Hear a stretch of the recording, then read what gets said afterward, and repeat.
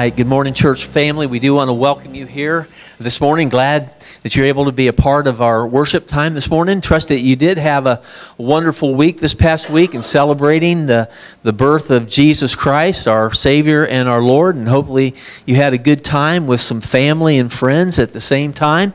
And uh, want to uh, welcome you here and also encourage you to pick up on the connection card. It's on the side of your bulletin. And if you would complete that and you can put it in the collection plate as it'll be passed here later in our service. Also be sure to do that because we've got a number of poinsettias that we need to make sure that they go home with somebody. Some of them are going to need to have some uh, some attention and some care to see if we can keep them keep them keep them tracking there. So be sure to fill that out because at the end of the service here today, we'll be uh, drawing for those and be sending them on their on their way as well. Also, wanted to encourage you to be thinking about you know the New Year's going to coming up here on Wednesday, um, running with like a 40 day fast here starting out, like we've done for a number of years. I'd like to encourage you to think about picking up on one thing perhaps that you could go 40 days without.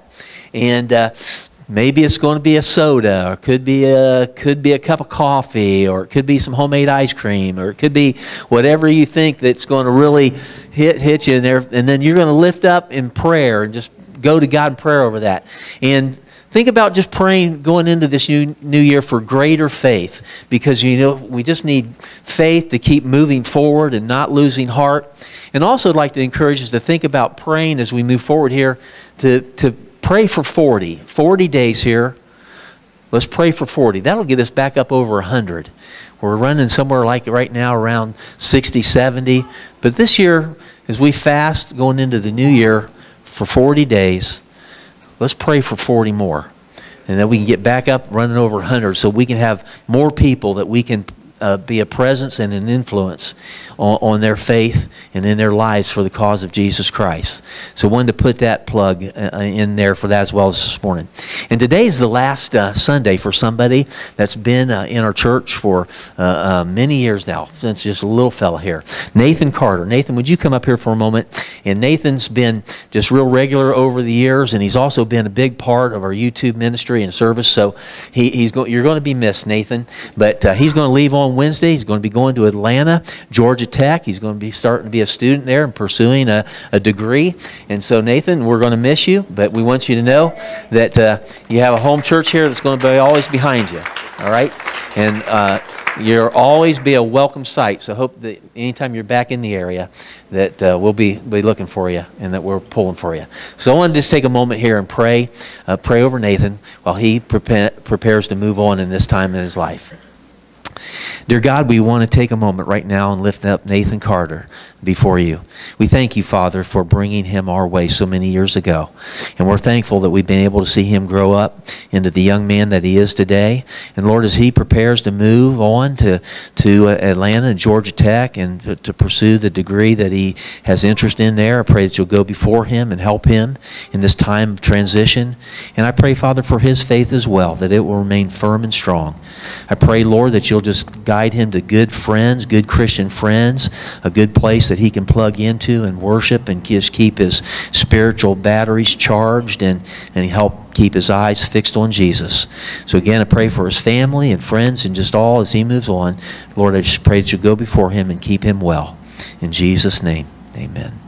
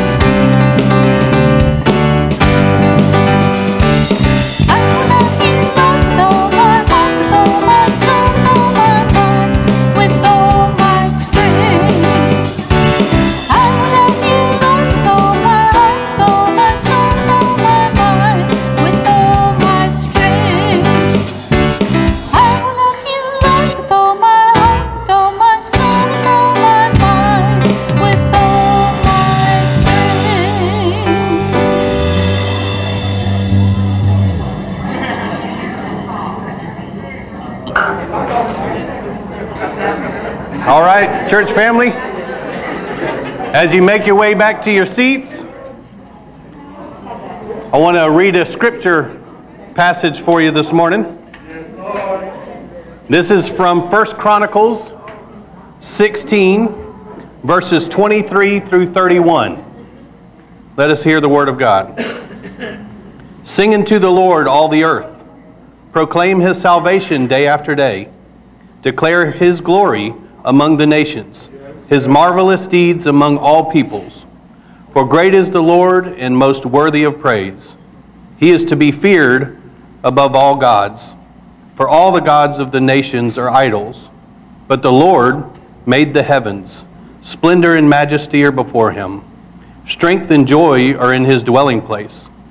Ascribe to the Lord, all, all you families of nations. Ascribe to the Lord glory and strength. Ascribe to the Lord the glory due his name. Bring an offering and come before him. Worship the Lord in splendor of his holiness.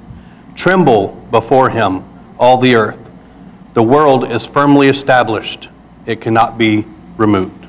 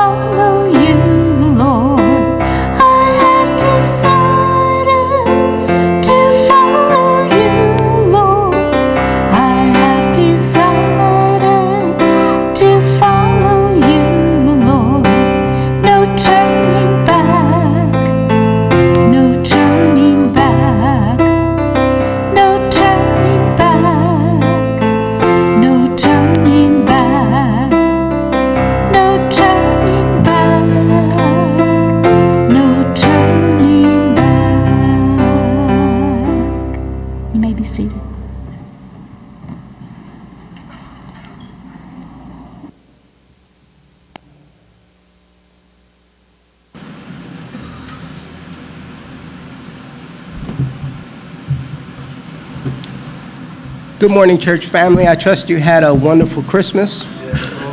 Before we partake in communion, I'd like to share a short devotion with you. It's entitled Cultivating a Servant's Heart. As fleshly humans, our natural and selfish tendency is to take care of ourselves first. We like to make sure we've addressed our own needs. Then, if we have any time or energy left over, we might be willing to use it to serve others. But you and I need to resist those selfish tendencies and strive instead to live as servants.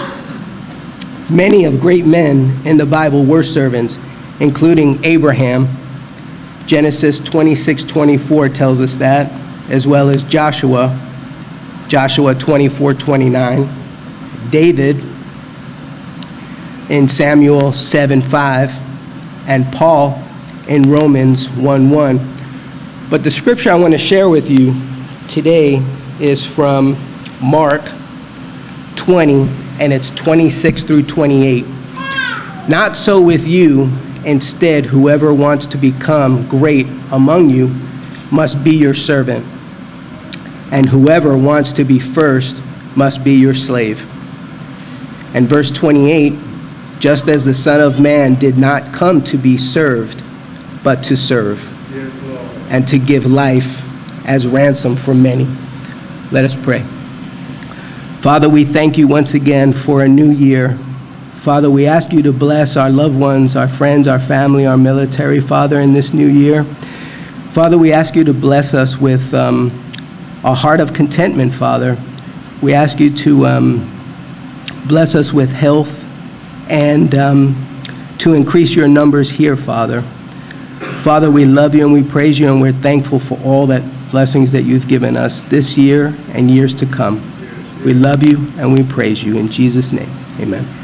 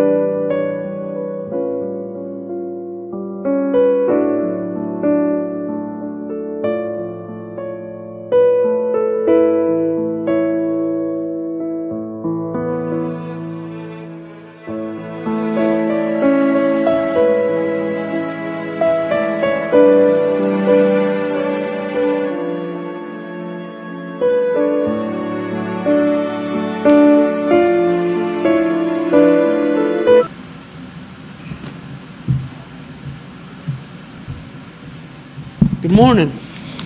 Let me be one of the first, if not the first, to wish you a Happy New Year. All of you. Let me read to you from Deuteronomy this morning, chapter 14, starting with verse 22. Be sure to set aside a tenth of all that your fields produce each year. Eat the tithe of your grain new wine and oil, and firstborn of your herds and flocks in the presence of the Lord your God, at the place he will choose as a dwelling for his name, so that you may return, so that you may learn to revere the Lord your God always. Pray with me if you would, please. Father, we pray that everything we do, everything we say, Lord, is found to be pleasing by you. And it's in your Son's name we pray. Amen.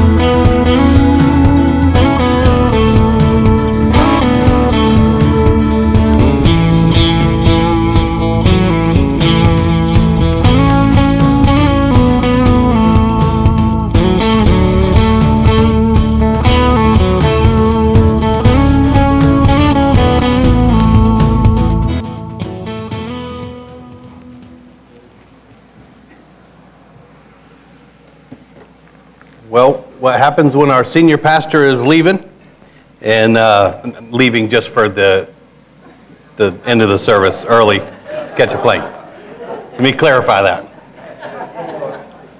You get the youth, you get the youth guy. So happy to be here with you this morning, though. Um, let us pray. God, thank you for this time. Thank you for your creation. Thank you for your grace. Thank you for your love. Thank you for the opportunity to share here this morning. May my words be pleasing to you and be only about you. In Jesus' name we pray. Amen. I want to open up with a scripture. So if you would join me, this is in Proverbs. Proverbs chapter 4, 23 through 27. And it reads Above all else, guard your heart for everything you do flows from it. Keep your mouth free of perversity. Keep corrupt talk far from your lips. Let your eyes look ahead. Fix your gaze directly before you. Give careful thought to the paths of your feet, and be steadfast in all your ways. Do not turn to the right or to the left. Keep your foot from evil.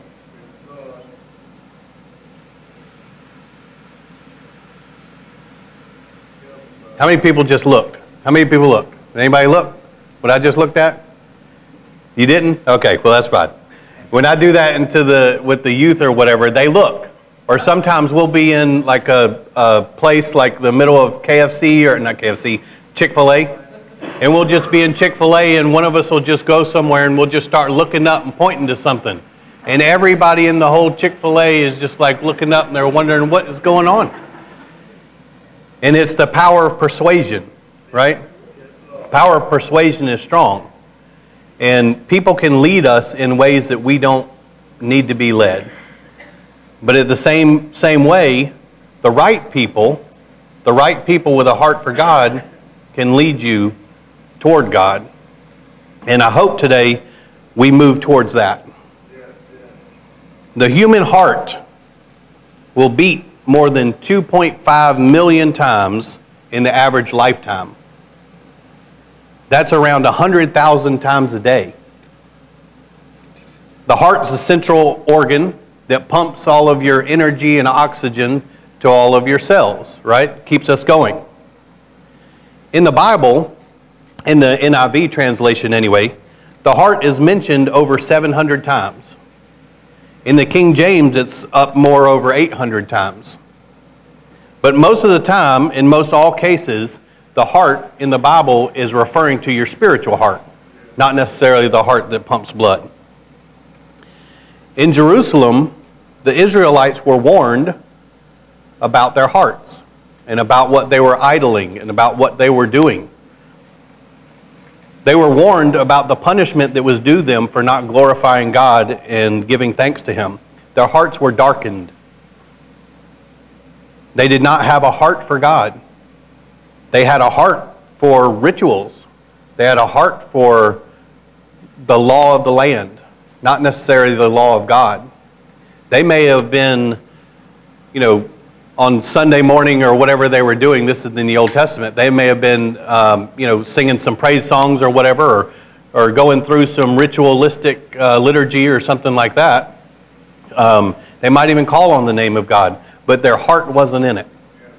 And, and God was about to get them for it because He wants us, He wants our heart. Our heart is designed for a couple of things.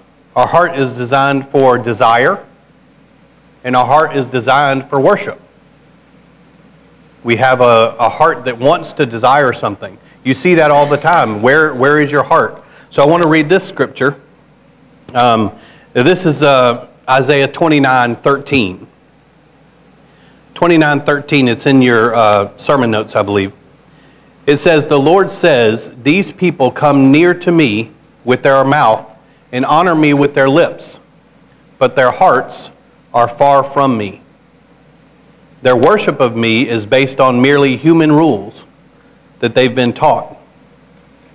So our hearts are designed to desire something or to worship something or someone.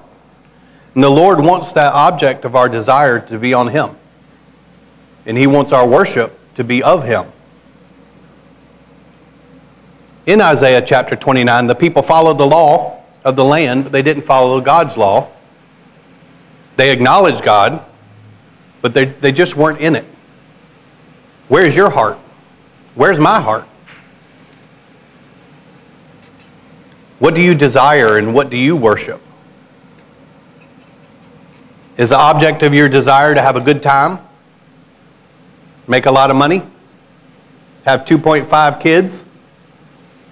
A little craftsman house with a picket fence? Is it success? A lot of money? Is it for others to like you? I have a problem with that.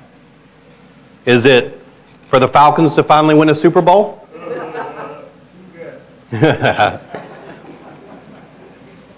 Our hearts are in a whole bunch of different things and we desire a whole bunch of, of things, but it's not always set and focused on God. The list goes on and on, of course. I grew up in the church. I even worked in the church uh, earlier in my days as a youth, youth leader in the United Methodist Church. And for much of that time, my heart and my worship was focused on God. I wanted to see the lives of teens changed. I wanted to share that change that happened in my life and what God had done for me. And I didn't want to see teens fall away as, as oftentimes they do. You know, teens in this day and age, once they graduate high school, the majority of them, if they were in church, they don't go anymore. And I didn't want to see that happen. Sometime later, I met my wife in Atlanta, and we got married. We had two kids, great kids. Um, shout out to my kids. Uh, we had two, good, good, two great kids. We ended up getting a house. I got a truck. Had to have a truck. I felt like I was somebody if I had a truck. Everybody else had one. And then I had my job outside of the church. I felt like I had to go make money, something. So I went and I found my, um, found my career.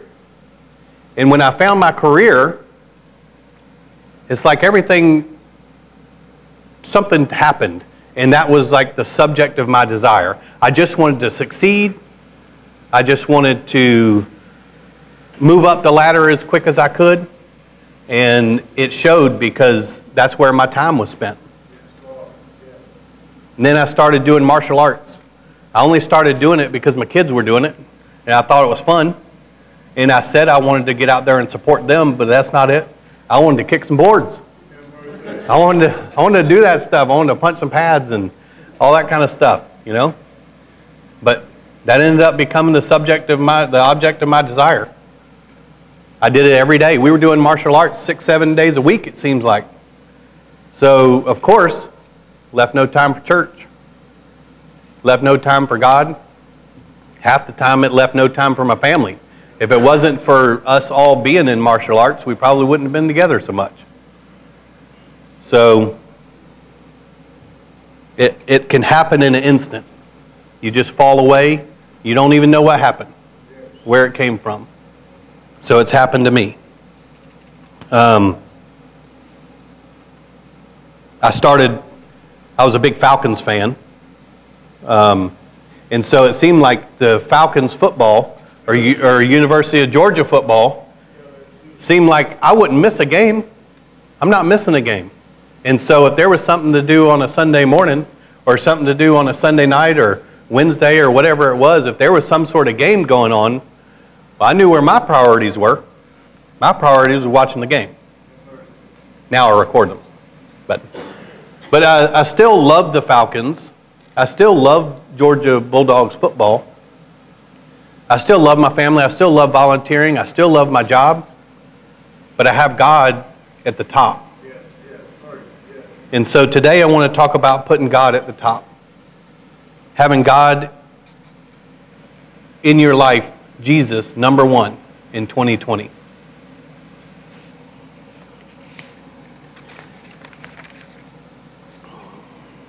In football, we can fill a stadium. We can fill a stadium quick.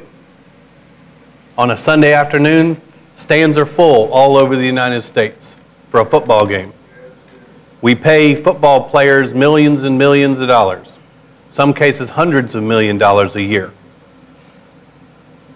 We pay pre- preachers very little. We fill churches very little. It shows where our priorities are sometimes, you know? I'm not saying there's anything wrong with football. Football's great. It's a great outlet, something to be a fan of. Maybe you're not a fan of football, maybe you're a fan of, you know, whatever it is, just doing stuff with your family and friends and all that. Those things are awesome, great things. God wants us to be happy, but He wants to be first, and He requires that of us. If you're a huge uh, Falcons fan, I support you. If you're a huge New Orleans Saints fan, I support you. You know? But just make sure that when you're talking about those things, that you're talking about them in a way that would be pleasing to God. And what I mean by that is that we'll go out there and Ohio State just lost yesterday, right? It was a tough loss. There are some out there, their world ended yesterday because Ohio State lost, because they're so wrapped up in it. You know? When the Falcons lost the Super Bowl, when the Falcons lost the Super Bowl after being up 28 to 3, at halftime, I was in the yard shouting about the Falcons so all the neighbors could hear. I wasn't at my house, so it was okay. I didn't know those neighbors. but I was shouting that uh, all my excitement and everything. And you can imagine my disappointment if after overtime we lost. I had, my wife will tell you, she hates it when I watch sports because I get so wrapped up in it. I get so wrapped up in a win or a loss. And so sometimes I've had to just stop watching it, you know? I'll look and see if we won or lost. If we won, I'll watch the game. If we lost, I'm not going to watch it because my blood pressure goes up, you know? I have to go see the doctor. And that's not how it should be. I should have that much passion in Christ as I do watching a football game. And we post things on the internet too about it. We post how the coach should be fired or how, you know, the players shouldn't be doing this or why they have, you know, uh, all the money that they make and all that kind of stuff. We post about the plays that are, are uh, called and, and everything. We post and we opine about all these different things. Maybe we could spend a little more time in the Word, studying the Word instead of the playbook. Maybe we could spend more time, you know, listening to some good quality Christian music instead of something that we listen to just for the beat. Now's time, good time. It's a new year. New Year's resolutions are great. Nothing wrong with New Year's resolutions.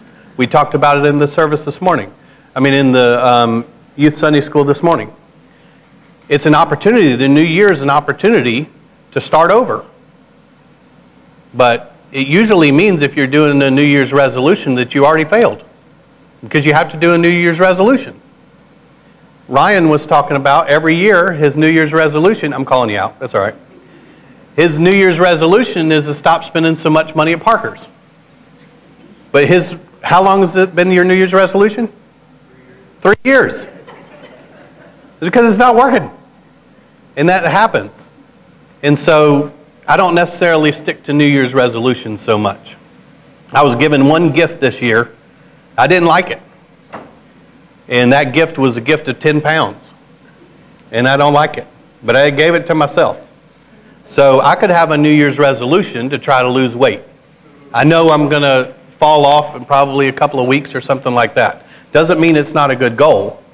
But I think maybe if I focus on doing the right thing, putting God first, maybe He could help me with that too. What about what about politics?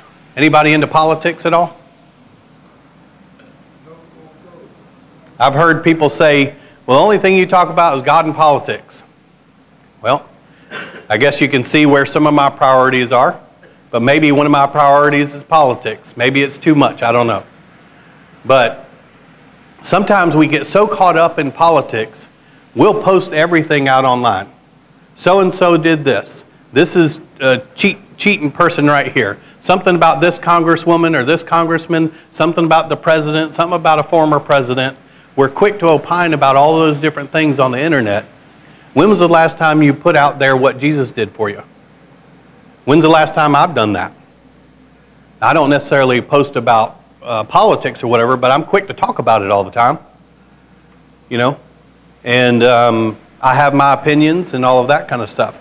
And instead of focusing on a particular candidate or the sitting president or whatever it is that you decide that you're going to vote for, instead of trying to hope that they're going to be a savior to the United States, how about we let Jesus be the candidate for 2020 in our hearts? Focus on him, and then let's pray that we get the right person in. Whether it's a sitting president or it's a new person, let's pray that God does his work. And if whatever the candidate is, let's pray for him, whoever that president is. So a lot of times we put so much focus on politics. I know after 9 11, my focus was purely on politics.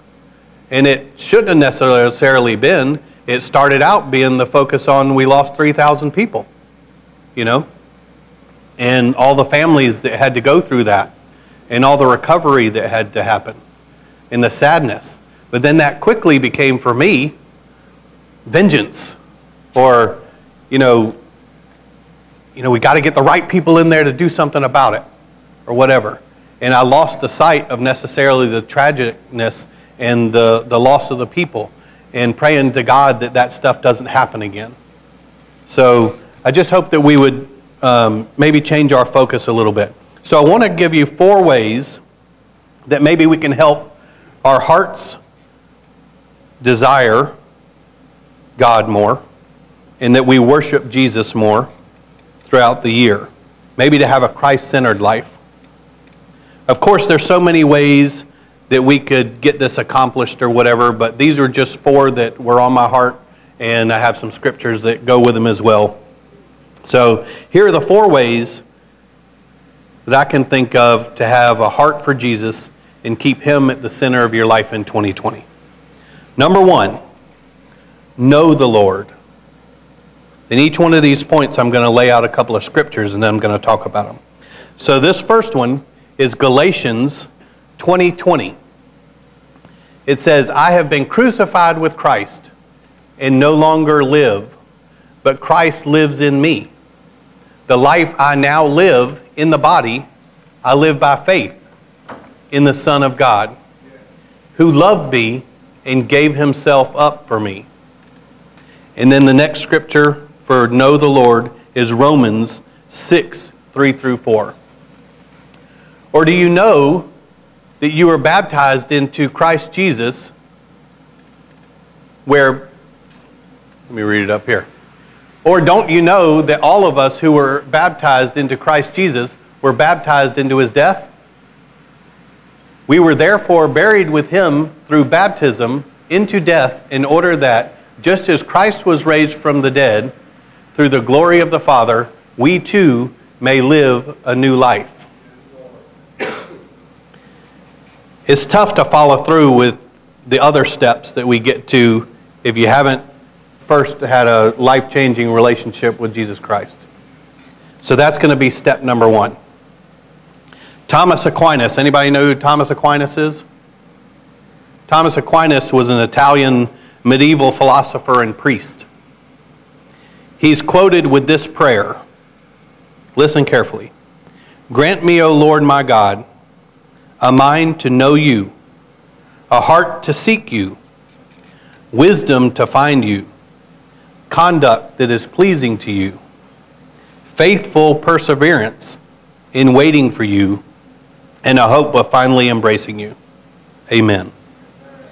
I don't necessarily agree with all of the philosophies or theology or whatever that uh, Thomas has, but I really like this prayer. I think we need to have those things, and I hope that God grants us those things. We need to call on Him to do so, and we need to act. But we have a gospel that's been presented to us, and if we follow it, we have that hope to be able to embrace Him. We just need to follow the gospel. So I hope you've done that. If not, we'd be happy to talk with you about it, but start with obeying the gospel. Once we've obeyed the gospel, seek Him more. Be in communication with God. If you're already reading the Bible every day, step it up. Or help somebody else to read it more. Get somebody else involved to help, to help reading with you. I know the teens, we're not always good about it, but we have a text group called the C4 in the Word. And the idea is to read Scripture every day. And if you read something that you really like, post it out there so everybody else can see it. Maybe it'll lift, lift each other up. And I'm thankful for the teens that participate in that. Again, we're not always um, doing it every single day, but it's a good opportunity um, to be reminded that we need to be in the Word. Um, that we're so quick, especially teens. We're going to post all kinds of stuff. We're going to communicate with other teens all the time. But maybe we can set a little bit more time to have some communication with God and to get to know Him a little bit better. Let's put more time into studying God's Word, seeking His plan, more than maybe critiquing coaching's um, coaches or playbooks or the stance of a politician. Again, it's great to study politics, be informed, be a fan of football or, or something that you're involved in. We just need to study God more. So get to know Jesus more. Study his ministry, his word, his death, and his resurrection.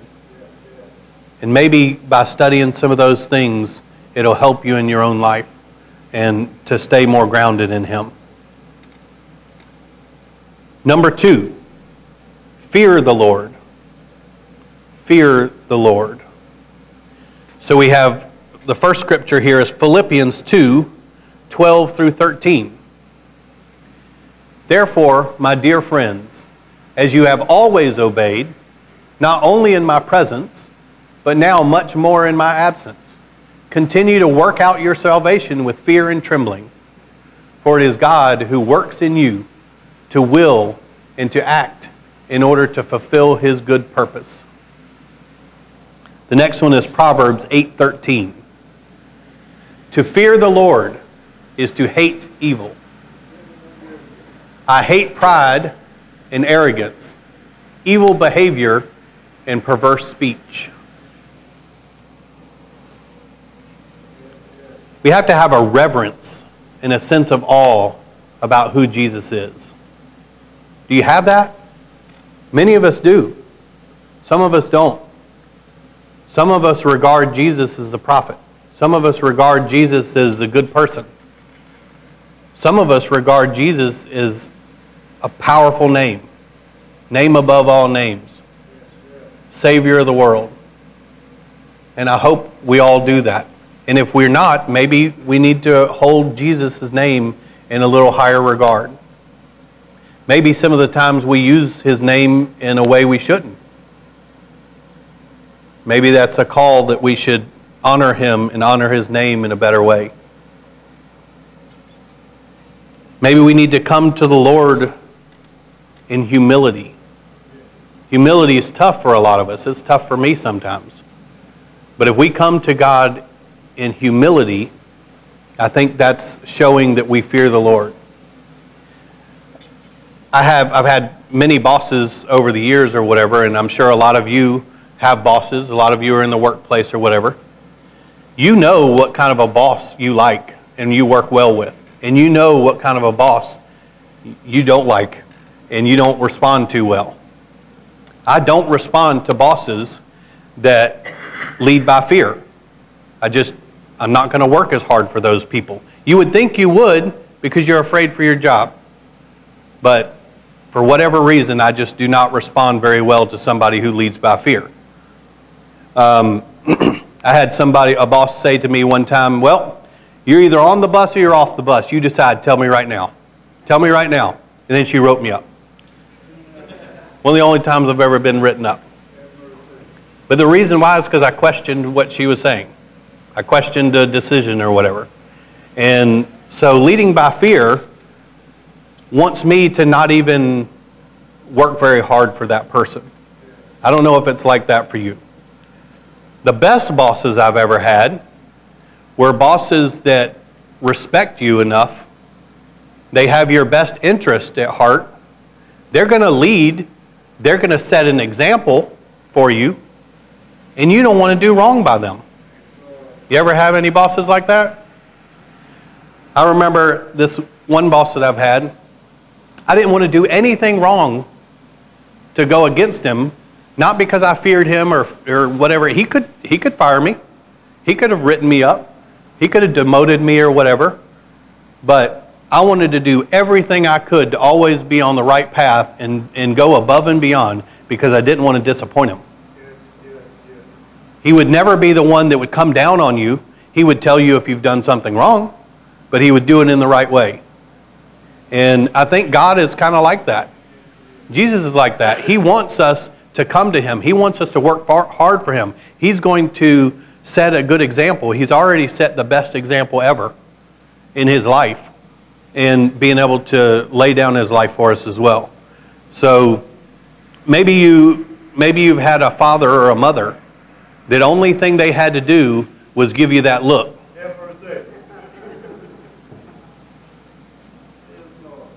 And you stopped what you were doing. They didn't have to come down on you and say, You better stop, or I'm going to give you something to cry about. You didn't necessarily have to do that. You knew that when they gave you that look, they could smite you right then. But they're not going to you have enough respect for that person, you hold that parent in enough regard that you know you better not do anything because you don't want to disappoint them. So maybe, maybe fearing the Lord, maybe holding him up in such high regard that you don't want to mess up. And if you do, you come to him quickly and tell him you're sorry. You tell him what you did wrong. I know I have to do that all the time and I hope you, you do as well. In the new year, especially with New Year's Eve celebrations and all that kind of stuff, there's all kinds of opportunities to go out and do all kinds of stuff. We need to do things that honor God because we fear Him. Not a fear that, you know, He's always going to come down on us, but a fear that we have that much respect and awe for Him.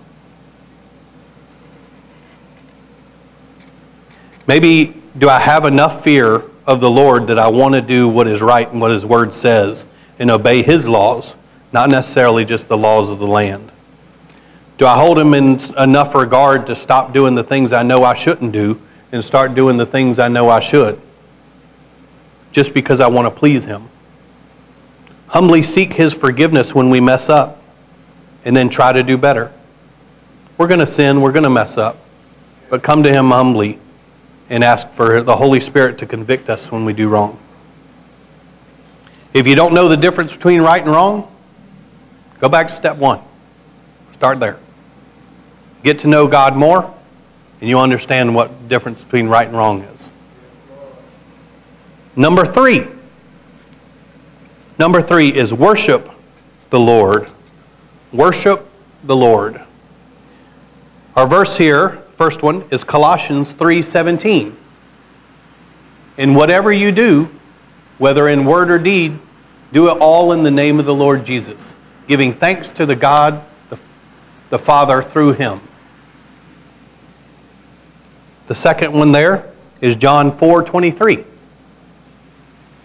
John 4:23 says, "Yet a time is coming and has now come when the true worshipers will worship the Father in spirit and in truth.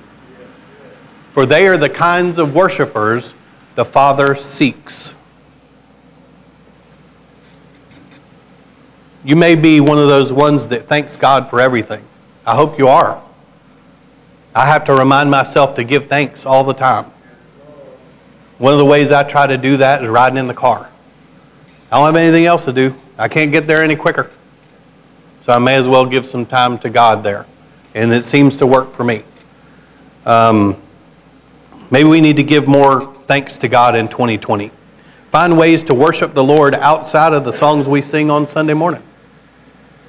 You know, I hear all the time, it's a big buzzword right now, is worship. Worship's great.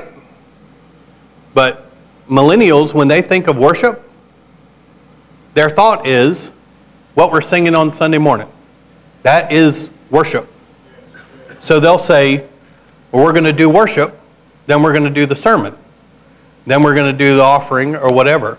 Worship is playing of the piano, doing the guitar, and all that, and singing. That can be worship, absolutely. But that is not worship. Worship is putting God at the center of whatever you're doing. It could be giving on Sunday morning your tithes and offerings. That's worship. Going out and doing something for somebody else because you know it pleases the Lord, that's worship. Giving thanks to God and telling Him, Thank you for your creation. Thank you for everything that you've done for me. That's worship. Singing songs on Sunday morning to God is worship. But if we're just sitting there fiddling on our phones, I'm guilty of it too. Sitting there fiddling on your phone and everything like that, just because you're singing to songs to God and you've got God in the name, doesn't mean you're worshiping. Maybe you're worshiping whatever's on your phone. I think we've all kind of been guilty of some of that sometimes. I know I have. So let's try to really worship God more in 2020. Worship is to be through our praise and thanksgiving to God. God sent Jesus as the way, the truth, and the life. Thank Him for that. Thank Him for the grace that He's given us. Thank Jesus for the work that He did on the cross for us. That is the truth. The Word of God is the truth. Seek the Spirit of the Lord in all things and at all times. Good or bad, driving in the car, listening to music, in your car, at work, find ways to praise Him. Find ways to praise Him in the little things, in creation, something you see out there. Maybe the songs that you're listening to. Find ways to worship God and to be able to praise and honor Him in those things. And then number four. Number four is to serve Him. Serve Him. Serve the Lord. The scripture here is Mark 16 15 he said to, he said to them, Go into all the world and preach the gospel to all creation. Whoever believes and is baptized will be saved, but whoever does not believe will be condemned. The next one is 1 Peter 4:10. Each of you should use whatever gift you have received to serve others as faithful stewards of God's grace in its various forms.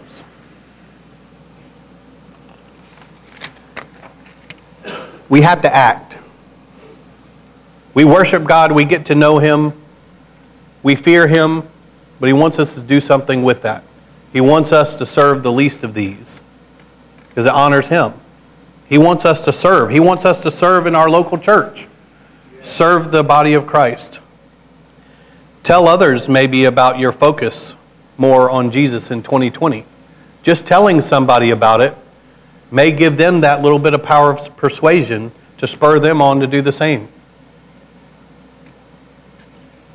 we serve the body of Christ, we may feel like we don't have enough to give, we don't have enough talent to give or to serve.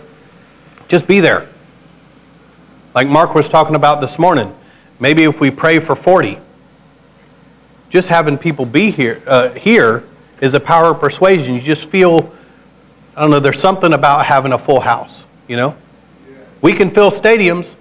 It's great having the cheering fans on and all that kind of stuff. We can do that. We can fill a political arena. Maybe we need to spur other people to come to church and to share in our worship of Christ. That's reaching out. Talk to people about Jesus. Proclaim the gospel. Go into all the world. Maybe give of our time, our tithes, and offerings to glorify God and to serve others. Reach out to those in need, those that are hurting, those that need a helping hand. Reach out to those that are lost. Help them, point them to step one to get to know God. This is what pleases the Lord. It's New Year's Day, right? Coming up. It's a great opportunity for us to be able to know God, to fear God more, to worship God a little bit more, and then to serve God a little bit more. You know, Pastor Mark's been doing a series on tough topics, tackling tough topics. This one's not tough because we know it. What's tough is doing something about it, sticking with it. That's tough because we have that power of persuasion. We have that internet. You know, we post stuff on Snapbook or, you know, Facegram or whatever it is. We do all that kind of stuff so easy, just comes natural to us. But does Jesus come natural to you? Does thinking about Him in the moment come natural to you? If it doesn't, maybe let's work on that. Not saying New Year's resolutions aren't good, they're great. But where's your heart? What's your theme song? As we come to our commitment, uh, song of commitment, is this your theme song? Is this, is this where your heart is? Where you want to fill the stand? Maybe it's this one.